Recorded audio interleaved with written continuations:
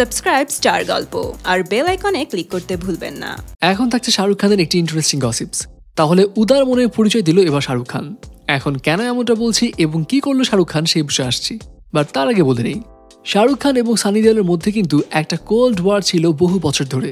Specially Sunny দেওয়াল ছিলেন শাহরুখের উপর বেশ ক্ষিপ্ত, যেটা সূত্রপাত ঘটে নাইনটিন নাইনটি থ্রি ডার সিনেমার মধ্য দিয়ে। এই সিনেমার পর থেকেই সানি দেওয়াল এবং শাহরুখের মধ্যে সম্পর্ক কিন্তু একেবারেই ভালো ছিল না।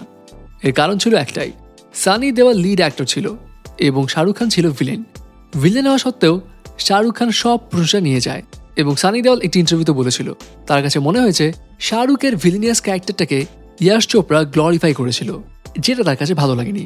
ইনফ্যাক্ট তিনি ইয়াশ চোপড়ার সঙ্গে অনেক তর্ক বিতর্ক জড়িয়ে যান এবং এক পর্যায়ে এতটাই রেগে যান যে রাগের বসে সানি দেওয়াল নিজের প্যান্টটাই ছিঁড়ে ফেলেন। এবং সেই ইন্টারভিউতে সানি দেওয়াল এটাও স্বীকার করেছিল যে, এরপর থেকে অলমোস্ট ষোলো বছর তিনি শাহরুখের সঙ্গে কথা বলেননি। তবে শাহরুখের সঙ্গে সানি দেওয়াল ষোলো বছর কথা না বললেও, শাহরুখ কিন্তু তার পুরনো কলিগের উপকার করতে পিছু পা হয়নি রিসেন্টলি জানা যায় যে, উনিশশো তিরানব্বই সালের একটি ফিল্ম দামিনী, এই সিনেমা রিমেক করতে চাইছে সানি দেওয়াল। এখন এই দামিনী সিনেমায় কিন্তু সানি দেওয়ালও ছিল, সেই সঙ্গে ঋষি কাপুরও ছিল। তবে রিমেক করতে যাওয়ার পিছিয়ে এখানে ঝামেলাটা হচ্ছে, এই সিনেমার রাইটস কিন্তু সানি দেওয়ালের কাছে নেই। রাইটস রয়েছে SRK production house Red Chillies এন্টারটেনমেন্টের কাছে।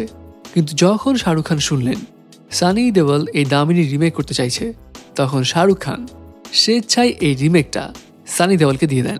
শুধু এটাই নয়, এর আগেও কিন্তু যখন সানি দেওয়ালের ছেলের সিনেমায় রিলিজ পেয়েছিল, তখনও কিন্তু শাহরুখ খান টুইটারে পোস্ট করেছিল তার ছেলের সিনেমার ব্যাপারে। তাকে প্রমোট করার জন্য হেল্পও করেছিল। এখন যদি মহানুভবতা নাই বা থাকে, তাহলে যে মানুষ ষোলো বছর ধরে কথাই বলেনি শাহরুখের সঙ্গে, তাকে শাহরুখ খান কেনই বা হেল্প করবে? সো ভিউয়ার্স শাহরুখ খানের এমন ঘটনা সম্পর্কে জেনে আপনি কি ভাবছেন? কমেন্টস করে জানিয়ে দিন আপনার মতামত। ইউটিউবে আর মিথ্যে গসিপ নয়।